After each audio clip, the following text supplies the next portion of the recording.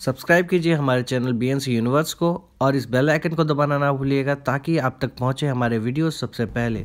हाय दोस्तों, मेरा नाम है विश्वास और आप देख रहे B N universe channel on YouTube आज हम बात करने वाले हैं प्लेसमेंट एजेंसी के ऊपर और साथ ही साथ बात करेंगे कि गवर्नमेंट किस तरह से प्लेसमेंट एजेंसी की तौर से काम कर रही है कई सारे स्टेट्स में। तो इसके बारे में आज का पूरा वीडियो रहेगा so let start the video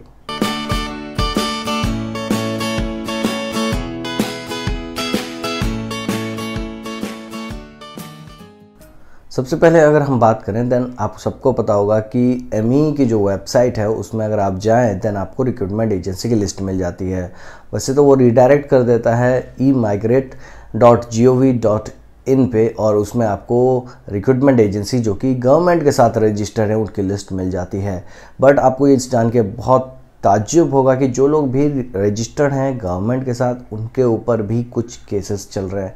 जी हाँ दोस्तों, ये हमारी जो पिछली मीटिंग हुई थी प्रोटेक्शन ऑफ़ इमिग्रेंट के ऑफिसरों के साथ, उससे ये चीज़ निकल के आई है कि उनके ऊपर भी केसेस हैं पेंडिंग तो आप अगर भरोसा करें तो भरोसा करें किस पर? तो ये वाली बात आ जाती है। तो इसीलिए खास करके प्रोटेक्शन ऑफ़ इमिग्रेंट उनकी तरफ़ से ये है कि क्यों ना स्टेट गवर्नमेंट खुद जो भी रोज़गार कचेरी चल रही है मतलब एम्प्लॉयमेंट एक्सचेंज चल रही है उनके स्टेट में, वो खुद क्यों ना एज ए रिक्रूटमेंट एजेंसी काम करे। ये चीज़ पिछले डिस्कशन में हुई थी जिसका ये निष्कर्ष निकला कि कई सारे एम्प्लॉयमेंट एक्सचेंज जो कि ऑलरेडी रजिस्टर्ड हैं, उनके काम को देख के बाकी स्टेट भी मोटिवेट हों और इसमें एनरोल करें एज ए रिक्रूटमेंट एजेंसी तो इसमें गुजरात गवर्नमेंट भी यही कोशिश कर रही है कि अपने आप को एनरोल कर करे एज ए रिक्रूटमेंट एजेंसी वैसे ओवरसीज़ का काम, जैसे कि आप सब जानते हैं कि मैं गुजरात गवर्नमेंट के अंडर ही रह के कर रहा हूँ और काफ़ी सालों से हम ये काम कर रहे हैं। तो अभी अब हम ये डिसाइड कर रहे हैं कि क्यों ना हम ही ये रिक्रूटमेंट एजेंसी का लाइसेंस ले लें और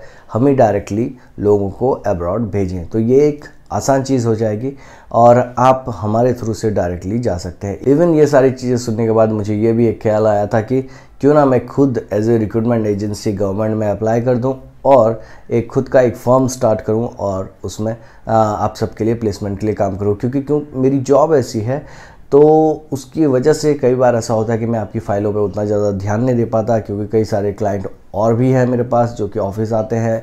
और फिर कई सारे काम ऑफ़िस के हैं, जिसकी वजह से मैं आपकी फ़ाइलों पे उतना ज़्यादा ध्यान नहीं दे पाता जितना मुझे देना चाहिए था। तो इसलिए मैं सोच रहा था कि क्यों ना मैं खुद एक प्लेसमेंट एजेंसी के तौर से रजिस्टर कर लूँ अपने आप को और फिर आपको डायरेक्टली भेजने में मैं खुद मदद करूँ। बट ये तो फ्यूचर की बात है। अभी अगर बोलें देन अगर आप जाना चाहते हैं अब्रॉड और आपको रिक्रूटमेंट एजेंसी पे भरोसा नहीं है, क्योंकि कई सारे रिक्रूटमेंट एजेंसी जो कि गवर्नमेंट के साथ रजिस्टर्ड हैं, उनके ऊपर भी केसेस है देन आप एक रास्ता चूज़ कर सकते हैं। वो है कि आपकी जो स्टेट गवर्नमेंट की एम्प्लॉयमेंट एक्सचेंज चल रही है हर स्टेट में, वहाँ पे आप जाके डायरेक्टली पूछ सकते हैं कि क्या वो लोग ओवरसीज सेल चला रहे हैं।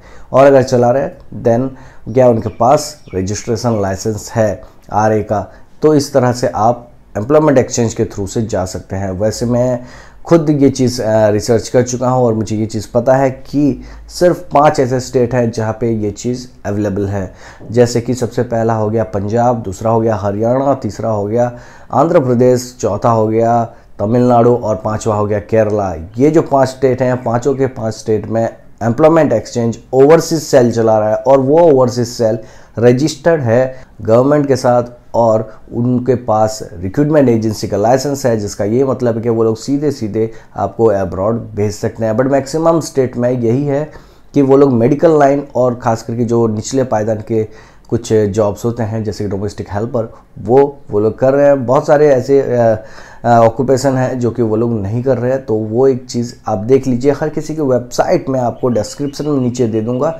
आप पर्सनली इन पाँच स्टेट के जो ओवरसीज सेल हैं, जो चल रहे हैं, उनको देख सकते हैं कि किस तरह से वो लोग प्लेसमेंट कर रहे हैं और क्या क्या वैकेंसी है उनके पास। ये सारी चीज़ें आपको उनके वेबसाइट में मिल जाएगी। इवन उनके फ़ोन नंबर उस वेबसाइट में दिए हुए होंगे। आप चाहें तो उनसे डायरेक्टली कांटेक्ट कर सकते हैं, क्योंकि कई सारे जो मेरे सब्सक्राइबर हैं, या तो साउथ से होते हैं, या तो पंजाब से होते हैं तो दोनों ही जगह पे ये फैसिलिटी अवेलेबल है।